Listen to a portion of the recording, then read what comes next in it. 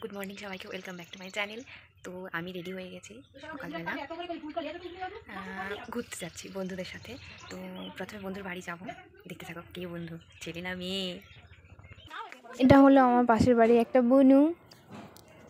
Cute না? এইখানে বোন বলছে, আমার ভালো লাগছে না। অথচ বাড়িতে এলে বলবে কি, কবে হোস্টেলে যাবি হোস্টেলে যাবি? আর যদি চলে যাই, বলবে কি, ভালো লাগছে না। অদ্ভুত একটা মেয়ে। কি আনব তোর জন্য?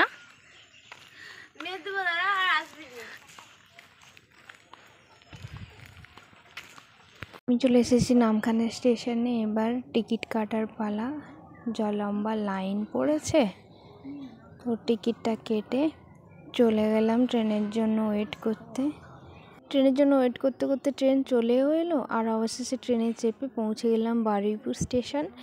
এবার যাব বন্ধুদের বাড়ি। অটো করে চেপে চলে গেলাম মল্লিকপুরে। মল্লিকপুরে ওখানে গিয়ে বন্ধুর জন্য ওয়েট করছি। বন্ধু চলেও এসেছে ওখানে আমাকে নিতে। তো এই হলো সৌমি। আসলে সৌমির বাড়ি এসেছিলাম আমরা। শুধু আমি একা নই আরও অনেকে এসছে। গেলে দেখা হবে তো আমাকে নিতে এসছে। ক্যামেরাতে খুব লজ্জা আমাকে দুদিকে? হ্যাঁ একদিকে আমি নিতে পারি না। ওকে। যে হচ্ছে গিয়ে চলে এসে ওখানে কুকুরটা পুরো পায়ের কাছেই চলে এসেছিল। ব্যাগটা আসছে না মনে হয়? খাবার তুই সাইকেল চালাতে পারিস? হ্যাঁ? ই তোকে আমরা এসে গেছি। বাড়ি এইবার আমাদের শুরু হবে আসল ব্লগ আপনারা দেখতে থাকুন।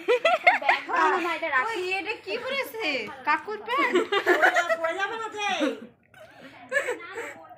ও বলছে ও বলছে আমার এই ড্রেস আপটা তুই আমাকে দেখা দেখি?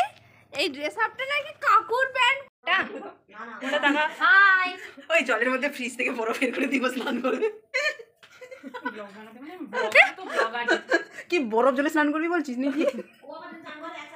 এ হলো শ্রীলেখা একটু পাগল আর জগিং জগিং ইগনোর হার তারপর সৌমিকে ফোনটা দিয়ে আমি ওকে ভিডিও করতে বলছিলাম আমার অনেক ডিমান্ড ছিল এই জন্য এরকম মাদের মতো নাচছিলাম। তারপরে খেয়ে দিয়ে আবার একটু রেস্ট নিয়ে এবার বেরিয়ে পড়লাম। এ সারাক্ষণ শুধু কুকুরটাকে চলছে আমাদের সাথে বাজে কুকুর। সরি সরি কুকুরটা বাজে নয়। আসলে কুকুরটা খুবই ভালো কারণ ওরাই তো মানুষের একমাত্র বন্ধু হয়। তারপর আমরা সবাই মিলে বাসে উঠে পড়লাম পাটুলি যাওয়ার জন্য। যেতে যেতে সামনে পড়েছিল অন্তরা যেখানে আমরা সেকেন্ডারি পোস্টিং করেছিলাম। তো অবশেষে বাস থেকে নেমে পড়লাম। এত সুন্দর সাজিয়েছে জায়গাটাকে জাস্ট ওয়াও লাগছিল। Wow wow just looking like a so beautiful so elegant just looking like a wow কিছু বলার নেই মুখে শুধু জাস্ট ভিউ নাও তোমরা এই পাটুলির দৃশ্যটা। লাইটিংয়ের তো মেনলি ভিউটা জাস্ট উফ খুবই সুন্দর সাজিয়েছে।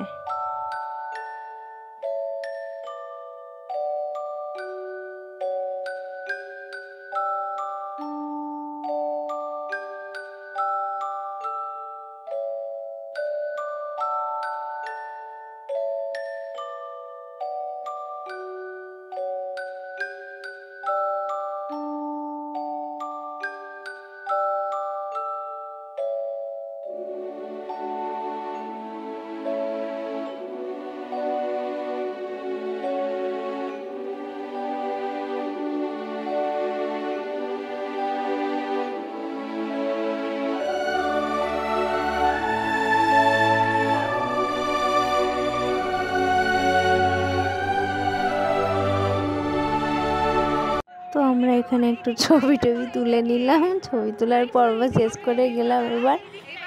পরে আমরা একটু এইখানে সিঁড়ি দিয়ে নিচে নেমে এলাম নিচের দিকটাতে।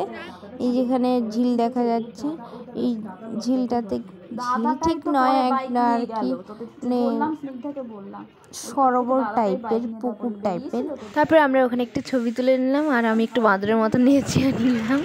তারপরে এই চলেছে ফুচকার খোঁজে। ফুচকা খেয়ে নিচ্ছিস?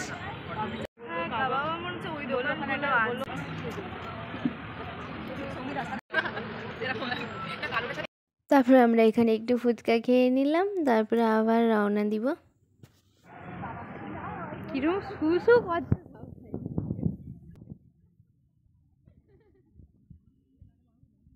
তো তারপর আমরা ফুচকা টুচকা খেয়ে খাব কি রেস্টুরেন্টে চলে এলাম।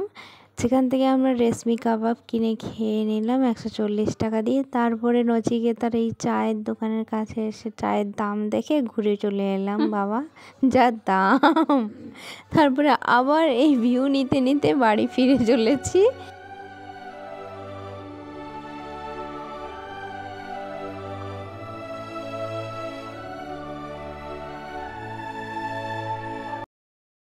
যার দাম কিনা পঞ্চাশ ষাট টাকা ভাই আমাদের এত টাকা নেই। এই ভাই কিনে খাচ্ছে। খা ভাই তুই খা তুই খা। তারপর আমরা চলে গেলাম ফ্লোটিং মার্কেটে যেখানে আর কি নৌকোর ওপরে সমস্ত দোকানদানি বসেছে। তো সেখানে গিয়ে একটুক্ষণ আড্ডা দেওয়ার পরে, কারণ কি আমাদের বাস চলে গেছিল, তো নেক্সট বাস আসতে আধ ঘণ্টা লেগেছিলো। তো সেখানে একটুখানি আইসক্রিম দোকান দেখতে পেয়েছিলাম। তো আইসক্রিম দোকান দেখতে পেয়ে ভাবলাম, চলো আইসক্রিম খাওয়া যাক, শীতকাল আবার কোনো ব্যাপার না, গা ঠান্ডা লাগলে লাগুক। তো আইসক্রিম তো খেতেই হবে, কারণ কি ওটা মাস্ট খেতেই হবে, ওটা আমার ফেভারিট খাবার। তারপরে আমরা বাসে করে ফিরে এলাম বাড়িতে।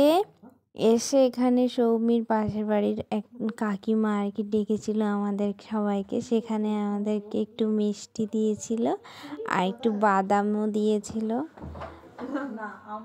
আমরা যখন বাড়িতে এসেছিলাম, সৌমির বন্টু ছিল না। বন্টু মানে ওর দাদার মেয়ে।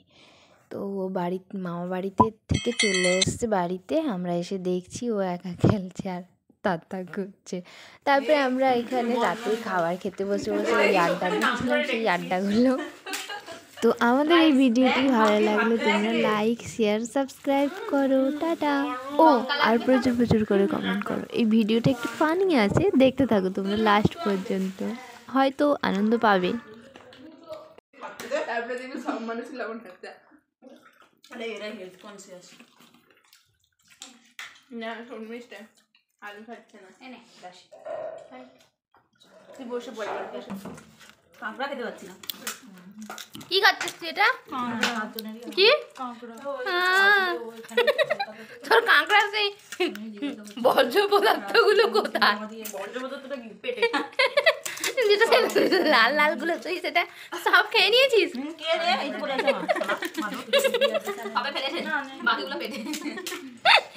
প্রথম দুটো। চিবিয়ে ফেলেছিলাম। আরে ফেসবুকে ফোন করব আর? মাকে বলো। তোর খাওয়ার মনে পড়ে যেতে কিন্তু আমাদের সন্ধ্যা যাবে বুঝলে? কাঁকড়াটা যে খেলাম মানে ওটা স্বাদটা সত্যি ইকো পার্ক ইকো পার্কটা তো আর নিউ তো মুখে দেওয়ার সাথে মিলে গেছে। বেগুন ভাজাটা তো অসাম দারুণ হয়েছিল আমার মানে সবসময় ভালো লাগে। আলু ভাজাটাও খুব ভালো ছিল। আর ভাতটা খুবই ভালো ছিল। জলটা তো ভালো। নুন নুন নুন নুন। হ্যাঁ নুনটা নুনটা খাইলি না যে? নুন ছাড়া তো কিছুই হয় না কোনো কিছু টেস্ট হয় না। তো নুনটা যেটা ভেবেছিলাম ঠিক সেটাই ফোনটা খুলেছি আইফোন করে যাবে বলছে আচ্ছা কি মারাত্মক ঝাল বল কাঁচা লঙ্কাটা ঝাল ছিল না। একদমই ঝাল ছিল বাট না মোটেও না আরেকটা হলে কাঁচা লঙ্কা কন্ট্রোভার্সি চলছে এখন। রাগ রাগ ছিল রাগ ছিল। দেখো দু হাত কথাই দেখুন guys, দেখুন বন্ধুরা। দু লাগাতে খায় কাকড়ার প্রতি ডেডিকেশন আমি জানতাম যে তোরা সবাই হেসে ফেলবি ওই জায়গাটা কোনটা রে? ফার্স্ট টাইম কাকড়া খাওয়ার অভিজ্ঞতা শেয়ার করুন আপনি। আমি তো বুঝতে পারছিলাম না কোথা থেকে শুরু তো? Demonstration ডেমনস্ট্রেশন করল যে প্রসিডিউরটা কীভাবে করতে হবে। আমার খেতে খুবই ভালো লাগে। এই যে সৌমি মাস্টার তারপরে এমন রিটার্ন ডেমনস্ট্রেশন দিল যে ওরই আগে খাওয়া শেষ হয়ে গেলে সৌমির এখন পড়ে আছে। কি হয়েছে? কি খেয়েছিস? এত ভালো কাকড়া খেয়েছিস? সেটা খাওয়ার দাঁতের খেয়েছে। সৌমি উপভোগ করে থাকছে দেরি গেছে দু হাত দিয়ে থাকছে লে না ভাই, আমি তুলে তুলে